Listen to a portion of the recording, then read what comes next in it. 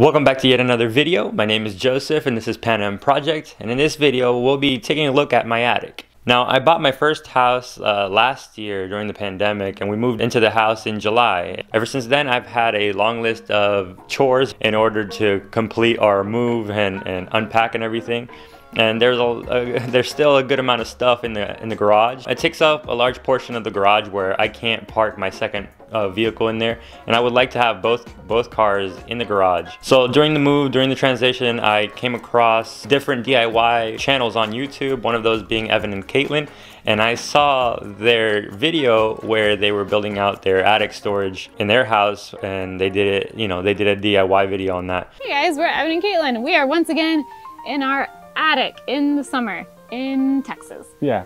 And so I kind of want to try their method for the attic storage that they did in their video in mine and see how it goes.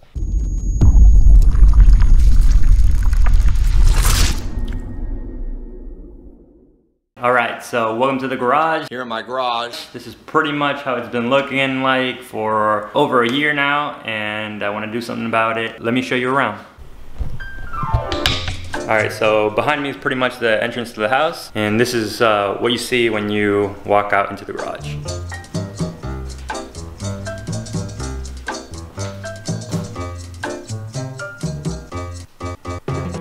So uh, as you can see, uh, we have a lot of stuff here. I don't think everything will fit in the attic. It might be too much weight um, for up there. I'm hoping that the strategy that Evan and Katelyn use uh, might allow me to put um, maybe a little bit more weight than normal in the attic, but we'll see. If not, then I'm gonna just have to get rid of some things, but I really want to get this area clear so I could put in the second car in the garage.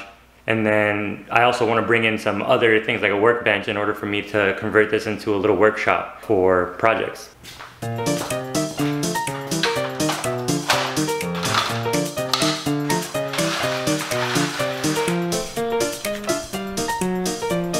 All right, so in the year that I've lived in this house, I've never been in the attic, so this will be my first look at it along with you guys.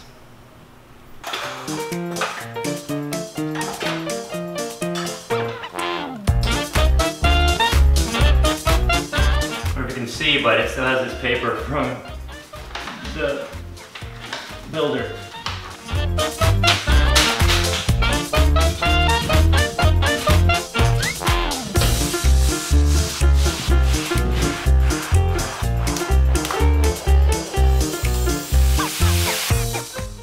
All right, so I'm pretty much at the top here.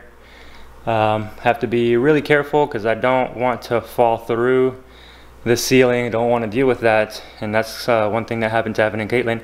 So I want to make sure that I'm really careful here. Our space 24 inches apart.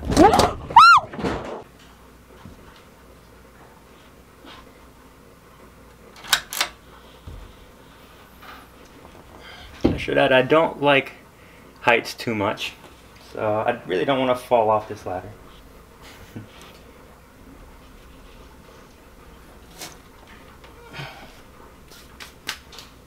Alright, so the attic is a little bit different than I expected. I don't think that the plan I had in mind is going to work exactly. Um, there's doesn't seem like I can store too many things up here. Uh, the area is much smaller than I thought. Let me show you. That's down there. And when you get up here, you have that little area there to put stuff. From what I'm seeing, the area between these two beams may be the best area for me to store stuff if I'm going to keep in line with the original plan that I had. The problem is just, it's not as high as I thought. And the area where I can stand up and maybe have a little bit more room to work, it has a lot of uh, trusses, a lot of cross beams that will make it a little bit challenging and I also see some cables um, running across, across the area that I don't want to mess with. That would be the perfect area unless I move them somehow. If there's enough slack in the in the cords, I may be able to move them and then put my uh, my flooring over there. Another another uh, thing to note is that area above the garage does not have any insulation. So my plan was to kind of create a raised floor to allow the insulation to be underneath the, flooring and be able to store my things in the attic without affecting the insulation. But as I can see, there is no insulation, so I may have to revise that plan And instead of raising the floor, I might be able to just drill directly into the wood that's here and create the floor because I don't have to worry about affecting the insulation or squishing it down.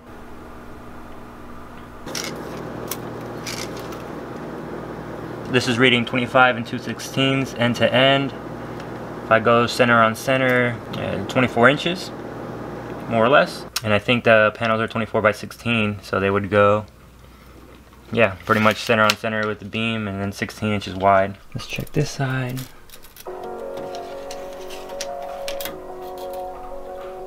Yeah, two feet, go center on center.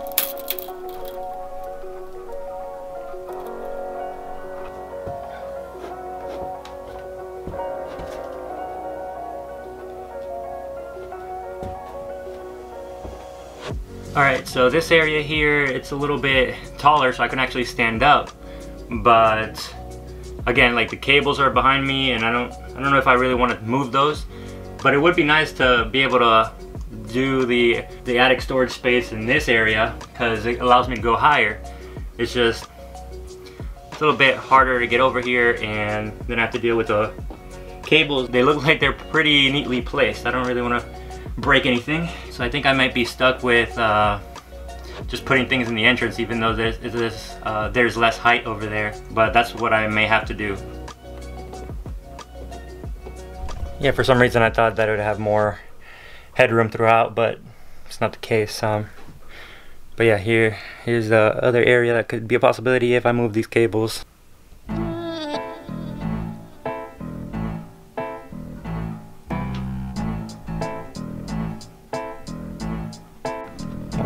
So I'm gonna go down now. Seems the kids are asleep, but they're a little bit sad because I haven't I haven't kissed them goodnight yet.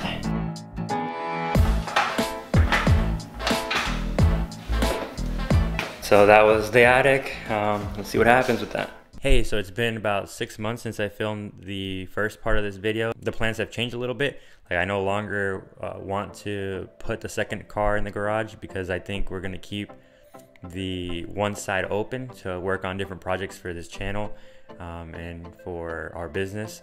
So we're probably going to keep it open um, as like a storage space for inventory and for projects. Um, and I've decided on the type of material that I want to install in the attic and I went ahead with the Attic Dek system that's already manufactured. Uh, I'm not going to do plywood and that's what you see right here behind me. Yeah, so I bought these uh, product, the Attic Dek, um, a few months ago, I think, uh, at the end of the year 2021 uh, from Home Depot, and they've just been sitting here at the entrance of my house since then.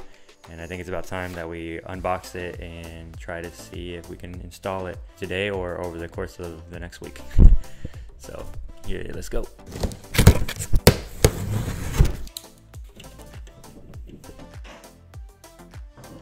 Okay, so I just took out the deck panels out of the box. Um, and so it brings this, these instructions here. Yeah, one of the benefits to this is no more hauling large sheets of plywood up the up in the attic. Allows moisture to pass through unlike plywood. So this is what one box brings. It brings the hardware for you to install it. And it brings four panels for the deck. And I think that's about 10 square feet box. And so how many boxes did I get? Two, four, six, eight, eight boxes. So 80 square feet.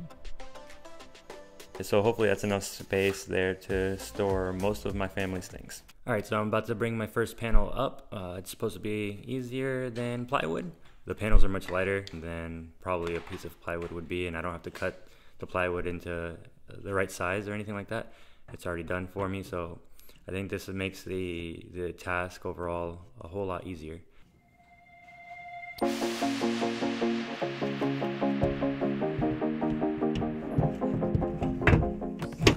Alright, so this is kind of how they are laid out.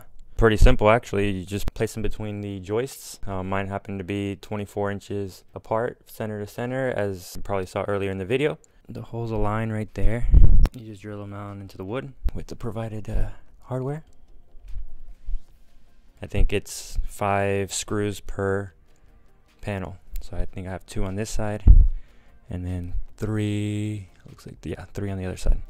I put them in different orientations so that they meet up in the middle. Here. So they press up against each other. If you put them in the same orientation, then you know there's gonna be gaps. But yeah, you just push them up like a puzzle piece. Press them up against each other.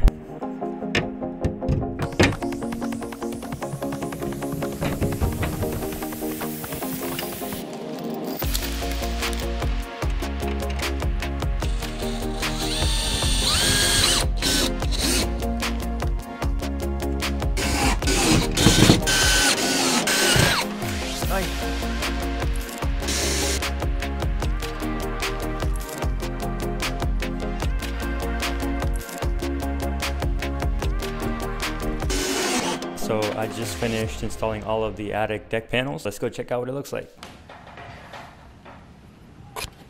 Yeah, so this is how the Attic Dek has turned out. I installed all 32 uh, deck panels up here in three different areas of my attic.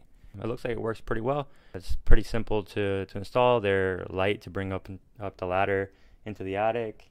So far, I'm I'm pleased with them. I do have one quick tip, and it's mainly my fault. Towards the beginning of the installation, I stripped uh, several screws. Uh, I learned uh, a tip to minimize that, and so after maybe installing the first um, six or seven panels, I implemented this method, and it significantly reduced the amount of, of strip screws. The method was uh, to use a screw lube um, around the screw so that they go into the wood more easily. I didn't have screw lube, I didn't, and I didn't want to go to the store to buy some. So what I, I ended up using Vaseline, and it worked well as well. So now it's time to bring some stuff up here. Okay, so I think I'm ready to call this Attic Dek project complete. Here's how the attic looks with all of our stuff um, up here. Okay, so when you come up the stairs, um, you're greeted first by the Christmas tree here. I wanted it closer to the to the entrance so that it has I have easier access to it. So it was one of the last things I put up here. On the left, we have more Christmas items in these two blue boxes. Or in these two dark blue boxes, and in that uh, cardboard box, there are more Christmas items. And then we have some empty suitcases for when we need to travel. I also wanted them closer to the entrance for easy, ac- easy access and then some clothes uh, maybe I think uh, winter clothes that we're not gonna be using that much because we do live in Florida so it's mostly hot down here and then on this side on the right we have two more empty um, bigger suitcases for travel and then some baby things uh, that we're keeping uh, just in case and further into the attic we have some of our books from college. So we have a lot of boxes there of books and study materials. Yeah, so this is kind of uh, how it has turned out. I'm happy with with the amount of uh, panels that I bought.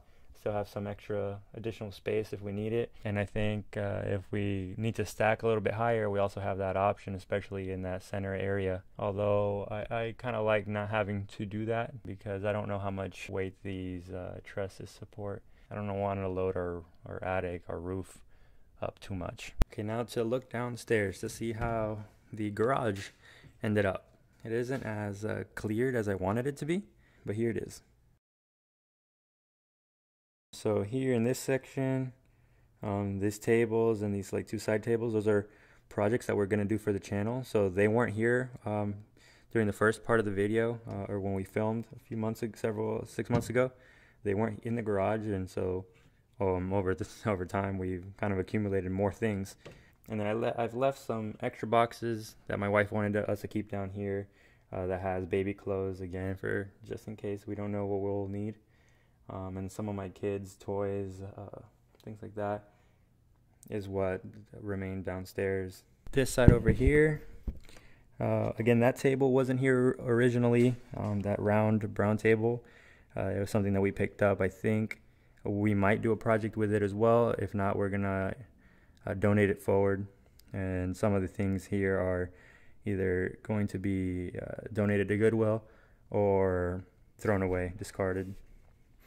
And on this side, we have you know more strollers, uh, county bins, and uh, lawn equipment. Yep. And so I still fit the Xterra, I still fit the trucks, have my bike.